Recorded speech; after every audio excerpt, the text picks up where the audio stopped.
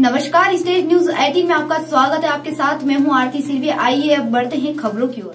शोभा ओझा का बयान मुख्यमंत्री कमलनाथ जी और साधु जी का आभार व्यक्त करती हूँ। महिला अत्याचार 15 साल की सरकार में हो रहा। महिला को ताकत देने और संवेदनशील काम करने का मेरा उद्देश्य रहेगा। आने वाले समय महिला अत्याचार में कमी आएगी। महिला सशक्त करने के लिए कार्यक्रम लाएँगे। महिला सशक्त करना मेरे लिए चुनौती है। मिला है। दोनों को दिल से धन्यवाद देती हूँ कि जिन्होंने मुझे ये अवसर दिया। जहाँ मैं प्रदेश की महिलाओं की स्थिति की ओर काम कर सकूँ, महिला सशक्तिकरण के लिए काम कर सकूँ, साथ ही जो महिला अत्याचार के लिए मध्य प्रदेश नंबर एक पे पिछले पंद्रह साल की सरकार में रहा है, अभी एक साल, पिछले एक साल से कमी ज़रूर आई है, पर महिला समस्याओं को लेकर संवेदनशील रहना, महिलाओं को ताकत देना, हर क्षेत्र में महिला आगे बढ़े, इस और पूरी तरह से संवेदनशील होकर काम करना यही मेरी आ, मेरा उद्देश्य रहेगा इस पद पर रहते हुए। और आ, साथ ही मैं कहूँगी कि प्रदेश की कोई भी हमारी बहन हमारी बेटी किसी भी अत्याचार के खिलाफ चुप ना बैठे वो अपनी आवाज़ बुलंद करें। उनकी आवाज़ को सुनने के लिए हम हैं उनकी लड़ाई लड़ने के लिए हम हैं। विश्वास करें हम पे। और आने वाले साल में मैं समझती हूँ मध्य प्रदेश में महिला अत्याचार में तेज़ी से कमी आएगी।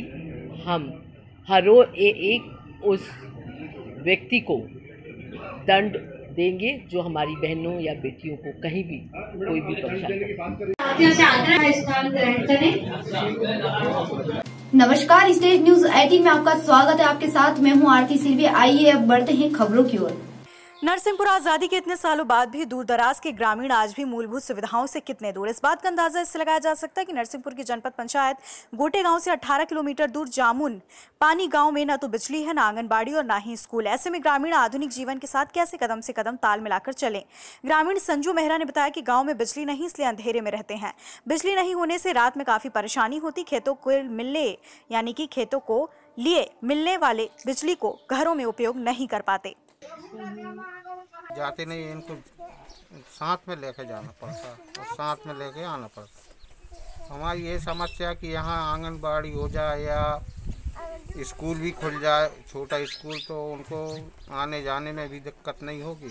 और यहाँ कम से कम छोटे बच्चों को आंगनबाड़ी का लाभ मिलने कितना नहीं पहुँच पाई है, ना आंगनबाड़ी केंद्र है, ना स्कूल जाने के लिए रास्ता पाँच किलोमीटर दूर से बच्चे पढ़ने आते हैं, सर, और वहाँ कुपोषण बच्चे भी हैं, सर।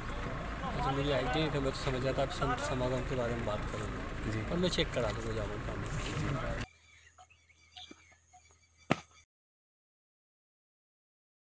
नरसिंहपुर से ब्यूरो रिपोर्ट।